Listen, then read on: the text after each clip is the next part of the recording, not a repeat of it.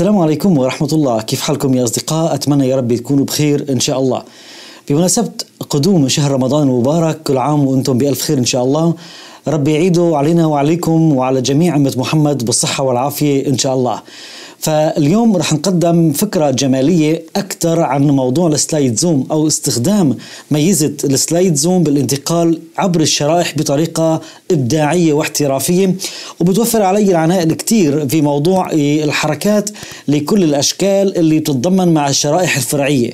فاليوم رح أقدم لكم يعني نموذج آخر عن استخدام ميزة ال slide zoom أو تأثير ال slide zoom.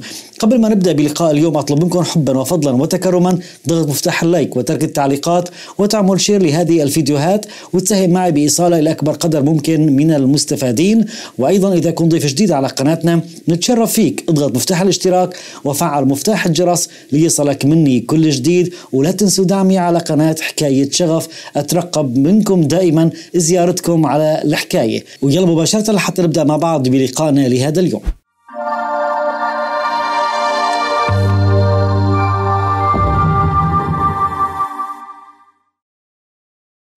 بكم أصدقائي مرة ثانية.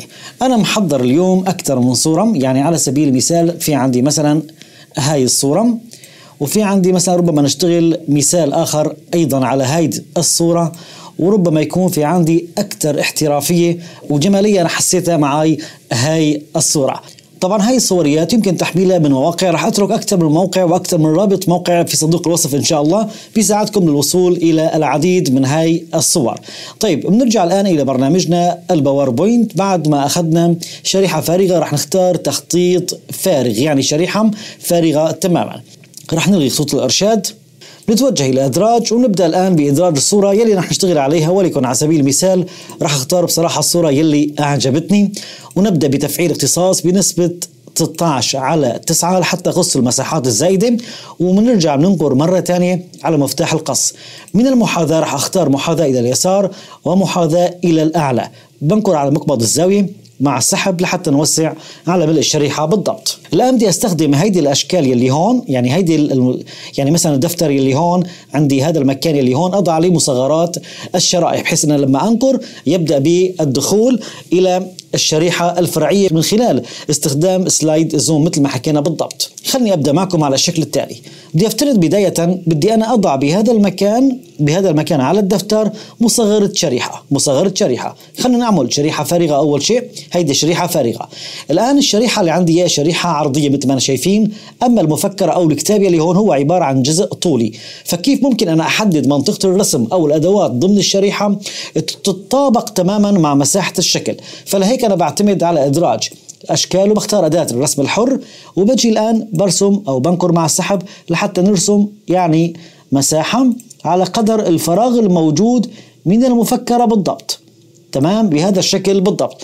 وباخذ له control زائد X قص يعني وبرجع إلى شريحة فارغة وبنختار control زائد V الآن راح نكبر مع مفتاح ال shift طبعا هذا الشكل بحيث يكون عندي اياه الشريحه بالضبط وبيكون معي في منتصف الشريحة. تمام؟ خليني أختار له من تنسيق.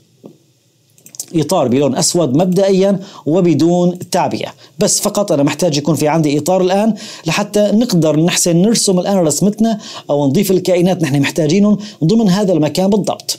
لحتى ما أطول عليكم بالشرح كثير خليني أتوجه إلى موقع وأحمل منه أدوات أو بعض رسومات الانفوجراف اللي رح تساعدني برسمتي. خليني أختار على سبيل المثال هذا الشكل. انقر على مفتاح ال download هذا مفتاح ال download. نسكر الإعلان. طيب نختار desktop سطح المكتب وانقر مفتاح save وبرجع إلى شريحتي بنختار إدراج صور من هذا الجهاز وبناخذ رسمة ال infograph اللي نحن قمنا بادراجها الآن أنا فقط بدي أحاول تكون رسمتي بداخل الشكل تماما يلي أنا أدرجته معي مثلا بهذا الشكل بالضبط. على سبيل المثال إذا حبيت إني أضيف بعض العناوين فمن إدراج WordArt مثلا خلني أنا أشتغل هون عندي عنوان. راح اختار له لون أبيض لأنه الصورة اللي عندي هي لونها أسود أو داكن تمام؟ طيب الآن الشكل اللي رسمناه نحن هذا الشكل يلي رسمناه الرئيسي. نرجع إلى تنسيق ونختار له بدون إطار. أنا ماني بقى محتاج الإطار. فقط أنا محتاج إنه أنا كونت رسمتي بحيث إنه أنا استخدمها ضمن الفراغ على المفكرة بالضبط. بنرجع الآن إلى شريحتنا الرئيسية. نتوجه إلى أدراج وبنرجع إلى صورة وهيدي رح استخدم فيها السلايد زوم. فبنختار صورة الشريحة. استخدم صورة الشريحة. وبجي بفعل على الشريحة رقم اثنين وأنقر على مفتاح الإدراج لحتى تنزل عندي الشريحة أو مصغرة الشريحة بشكل كامل. بنرجع إلى تنسيق وبنبدأ بالتأثيرات الافتراضية أو الخيارات الافتراضية على الصورة. يعني أنا بقول له هون خذ لي لون الخلفية. تمام؟ نجعل الموضوع شفاف وأعطيني العودة إلى المصغرة. تمام؟ وبنقر مع السحب. تمام؟ خلنا اوسعها الآن شوي على قدر المفكرة بالضبط مثل ما أنا شايفين الآن هي اتطابقت معي على قدر المفكره بالضبط. الآن نحن لو شغلنا تمام شريحتنا وجيت على المفكرة نقرت لي مرة واحدة عمل لي عملية التصغير بهيدي الجمالية بالضبط مثل ما أنا شايفين ولو نقرت بأي مكان راح يرجعني إلى صورة كاملة. ففيني أعمل مشروع كامل بشريحة رئيسية باستخدام فقط ميزة slide zoom بهي الجمالية. الآن خلني أرجع مثلا إلى هذا الغلاف الدفتر الصغير أو دفتر الملاحظات يلي هون. بنفس المبدأ بروح إلى أدراج ومن الأشكال خلني أختار الشكل الحر وبنرسم المساحة اللي أنا بدي أصمم جواتها. تمام؟ بدي أصمم جواتها.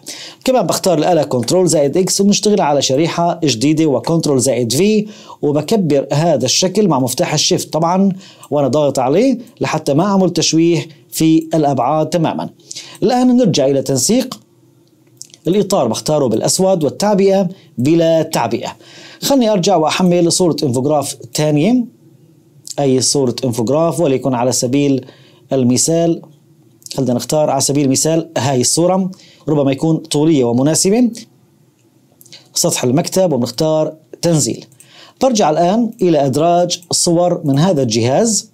بحدد الصورة وأنقر مفتاح الإدراج. طبعا هاي الصور بكنا بي إن جي وصور مفرغة. تمام؟ طيب فيني أصغرهم ويكون معي بهذا الشكل مثلا بالضبط. تمام يا أصدقائي؟ تمام. الآن أنا برجع إلى الرسمه اللي أنا رسمتها ومن تنسيق بختار لها بدون إطار. نحن استخدمنا الإطار فقط لحتى أعرف وين موضع رسمتي. برجع الآن إلى الشريحة الرئيسية وبنروح إلى أدراج ونفس المبدأ من صورة بختار صورة الشريحة. بحدد الشريحة رقم ثلاثة وأنقر على مفتاح الأدراج. تجي معي الصورة المصغرة للشريحة رقم ثلاثة. بتوجه بنفس الأعداد إلى قائمة تنسيق بلغي. الخلفية الشريحة وبقول هون العودة إلى الصورة وبسحب الرسمة حتى تكون معي بهذا الفراغ بالضبط. فيني أكبرها شوي حسب المساحة يلي عندي إياها. الآن نحن لو شغلنا رح نشوف هيدي الجمالية باختصار أنقل لمرة واحدة. تمام؟ رح يصغر لي الشريحة أو يعمل زوم ويسلط يطلع لي محتوى الشريحة رقم اثنين. ونفس المبدأ إذا جيت لهون فيه يعمل كمان الزوم على هذا المكان بالضبط. صارت عندي الآن شريحة رئيسية رائعة جدا جدا جدا. فيني أنقر وأتوجه وأشوف ضمن الشاشة يلي هون فيني أشوف محتوى الشريحة. ولما أنقر بيرجعني. نجي لهون نفس المبدأ. تمام؟ ولما أنقر أيضا يرجعني نفس المبدأ يلي هون. تمام؟ لكن الجميل في الموضوع إنه هي خلفية عم بصير التسليط معي الزوم على الخلفية ونفس المبدأ بشوف محتوى كل شريحة بشريحتها نفس المبدأ هذا الشكل يلي هون. أتمنى إن شاء الله بهذا اللقاء أكون قدمت لحضراتكم شيء جميل ونافع ولائق فيكم كالمعتاد فتكرما ما تنسونا من تفاعلكم والدعم وتجزوا عني كل خير إن شاء الله. رمضانكم مبارك والسلام عليكم ورحمة الله.